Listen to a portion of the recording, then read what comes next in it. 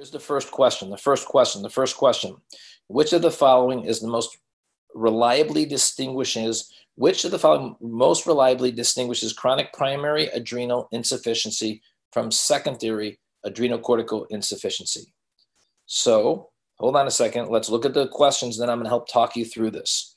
So, presence of fatigue, hyperkalemia. So, we have fatigue, hyperkalemia, we have muscle weakness, we have hyponatremia, or we have skin pigmentation.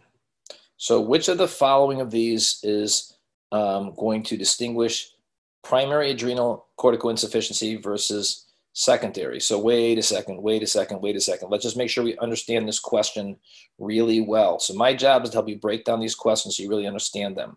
So, first off, What's adrenocortical insufficiency? Guys, that is a very fancy way for saying Addison's disease.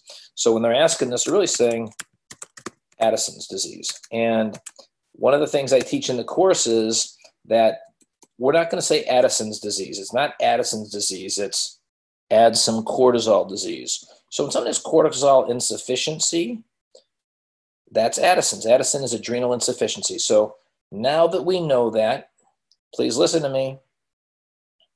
You have three adrenal hormones. You have three adrenal hormones, and you have to know them like the back of your hand. The three adrenal hormones, the mnemonic I teach is ACE, A C E. You have three adrenal hormones aldosterone, cortisol, and epi. Okay? Now, to understand Addison's, you got to know what each of these hormones do. Now, think about it for a second, guys. These are adrenal hormones. This fires up if I'm under tremendous stress. So, if I'm under tremendous stress, like I had a trauma, okay, Let's just say I had a trauma and I was bleeding out. Well, guess what? If I have a trauma, all of these are going to be elevated. If I'm under tremendous stress, all of these are going to be elevated. So aldosterone holds on to sodium and water. So if I have high aldosterone, that's a cause of secondary hypertension. Hyperaldosteronism, high sodium, high water. If I have high cortisol, three things will happen. One, two, three. What are the three things that'll happen? Number one is it's an anti inflammatory. Number two is it raises blood sugar. And number three is it raises your white blood cell count. So cortisol does three things. It's an anti-inflammatory, and in return, that raises your blood sugar and raises your white count. Guys, you have to know that.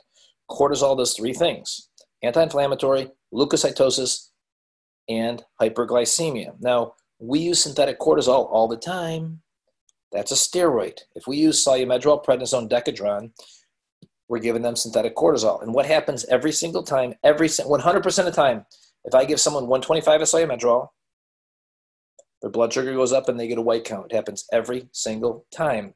If someone has a kidney stone, they have so much pain, cortisol goes up because their adrenal gland goes up and they get a white count of 14,000, it's because of cortisol. Cortisol is your stress response, and epinephrine drives your blood pressure. So hold on a second. Listen, if someone has a hyperactive adrenal gland, high sodium, high blood glucose, high blood pressure. Cool. What, what, if, what if the adrenal gland isn't working? If someone's adrenal gland isn't working, they're going to have low sodium, they're going to have low blood sugar and low blood pressure. So, ladies and gentlemen, that is a that, that's a key feature. That's a key feature of Addison's disease. Hyponatremia, hypoglycemia, and hypotension. Now, we get endocrine problems from either a primary problem or a secondary problem. Primary means it's the primary gland that's involved. So the adrenal gland is involved. If I have primary hyper, I'm sorry, primary Addison's. The problem is in my adrenal gland. So, guess what happens? If that happens, the gland upstairs is going to say, Hey, dude, wake up, wake up. So, if someone's got primary Addison's disease, the pituitary is screaming, Wake up. Now, secondary Addison's is the problems in the pituitary gland. Listen to me. On your boards, you are not going to have any pituitary pathologies except one. The only pituitary pathology that I want you to study is a prolactinoma. Other than that, don't look at secondary causes of endocrine problems. Okay, don't look for secondary cause of thyroid disease. Look for primary thyroid disease. That is way above a PA's pay grade. Okay? So, primary Addison's, listen, listen, listen, listen. What hormone stimulates the adrenal gland? Well, it's ACTH, ACTH, ACTH. So, here's the deal. If ACTH is stimulating your adrenal gland, ACTH has got a buddy, it's a roommate, and they're really good friends.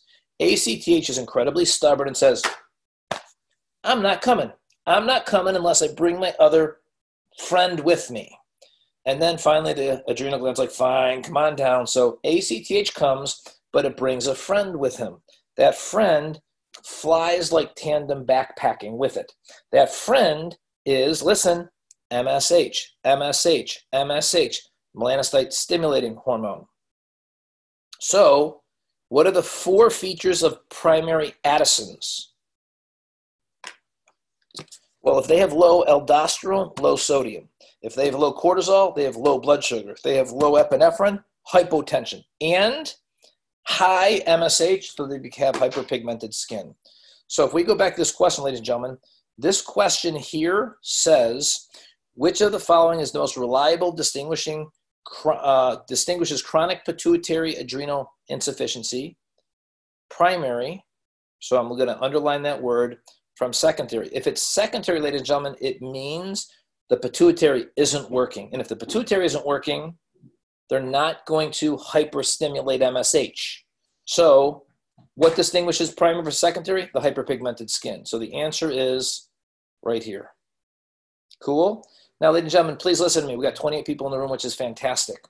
If you have any questions, please put them in the chat window or, or reach out to me directly.